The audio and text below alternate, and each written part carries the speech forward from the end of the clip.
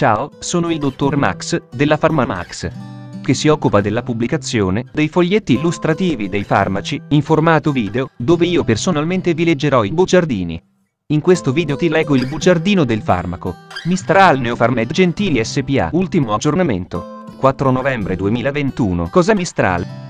Confezioni informazioni commerciali sulla prescrizione indicazioni posologia controindicazioni avvertenze speciali e precauzioni di impiego interazioni con altri medicinali e altre forme di interazione assumere Mistral durante la gravidanza e l'allattamento effetti sulla capacità di guidare veicoli e sull'uso di macchinari effetti indesiderati sovradosaggio proprietà farmacodinamiche proprietà farmacocinetiche dati preclinici di sicurezza elenco degli eccipienti farmaci esteri cos'è Mistral Mistral è un farmaco a base del principio attivo dermatansolfato sale sodico, appartenente alla categoria degli anticoagulanti diretti e nello specifico altri antitrombotici. È commercializzato in Italia dall'azienda Neopharmed Gentili SPA. Mistral può essere prescritto con ricetta OSP, medicinali soggetti a prescrizione medica limitativa, utilizzabili esclusivamente in ambiente ospedaliero o in struttura ad esso assimilabile. Confezioni Mistral Iniet 10 fiale 100 mg 2 ml Mistral Immediate. 4 fiale 300 mg 3 ml Informazioni commerciali sulla prescrizione titolare. Neopharmed Gentili SPA Ricetta. OSP, medicinali soggetti a prescrizione medica limitativa, utilizzabili esclusivamente in ambiente ospedaliero o in struttura ad esso assimilabile classe. H. Principio attivo. Dermatansolfato sale sodico gruppo terapeutico. Anticoagulanti diretti forma farmaceutica. Soluzione, uso interno, indicazioni prevenzione della trombosi venosa profonda. Posologia La posologia varia in funzione del grado di rischio tromboembolico. In medicina, pazienti allettati. Pazienti con tromboflebite acuta delle vene superficiali o varicoflebite 100 o 200 mg/vie per via intramuscolare in un'unica somministrazione quotidiana, fino a completa mobilizzazione del paziente o a risoluzione dei sintomi flebitici. In chirurgia addominale, toracica, ginecologica ed urologica. Secondo il grado di rischio individuale, da 100 a 300 mg/vie per via intramuscolare in un'unica somministrazione quotidiana. Il trattamento va iniziato due giorni prima dell'intervento e va protratto fino a completa mobilizzazione del paziente.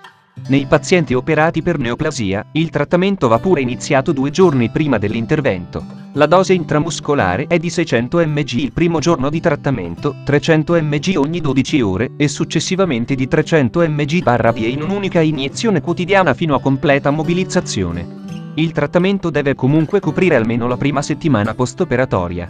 Nella chirurgia ortopedica maggiore, P.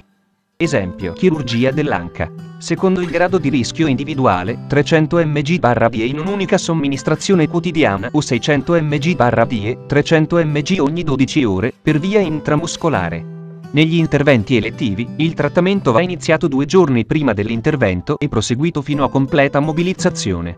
Nella chirurgia traumatica, frattura d'anca, il trattamento va iniziato al più presto possibile dopo la diagnosi di frattura e va proseguito nell'attesa dell'intervento e dopo di esso sino alla completa mobilizzazione del paziente. Il trattamento deve comunque coprire almeno la prima settimana post-operatoria.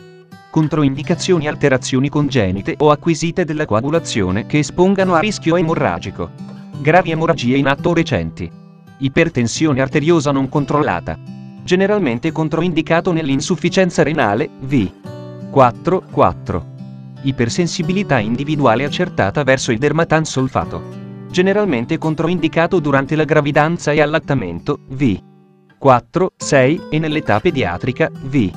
4, 4 avvertenze speciali e precauzioni di impiego a differenza di quanto accade con l'eparina, non sono necessari controlli di laboratorio della funzione coagulativa in corso di trattamento con dermatansolfato.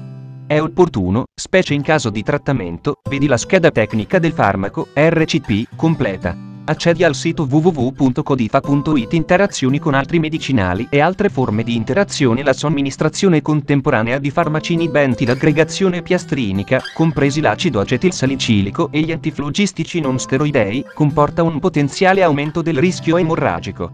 L'uso di tali farmaci va quindi limitato, vedi la scheda tecnica del farmaco, RCP, completa. Accedi al sito www.codifa.it Assumere Mistral durante la gravidanza e l'allattamento Posso prendere Mistral durante la gravidanza e l'allattamento?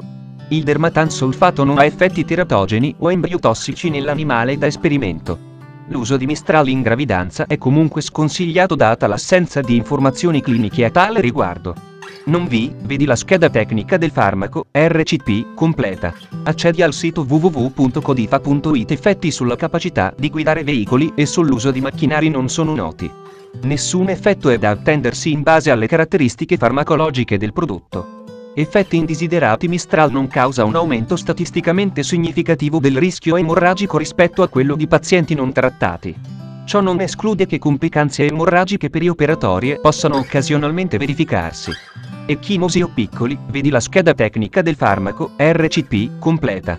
Accedi al sito www.codifa.it Sovradosaggio illimitato volume iniettabile per via intramuscolare rende improbabile l'eventualità di un sovradosaggio di dermatansolfato. Se ciò dovesse verificarsi il trattamento va interrotto. Non vi è esperienza clinica di neutralizzazione del dermatansolfato mediante protamina. Proprietà farmacodinamiche Il dermatansolfato è un glicosaminoglicano di origine naturale. Esso potenzia l'azione di un inibitore fisiologico selettivo della trombina, il cofattore parinico I, mentre è privo di effetto sull'antitrombina II. Proprietà farmacocinetiche Gli studi di farmacocinetica nell'uomo hanno evidenziato le caratteristiche seguenti. Volume di distribuzione simile al volume plasmatico.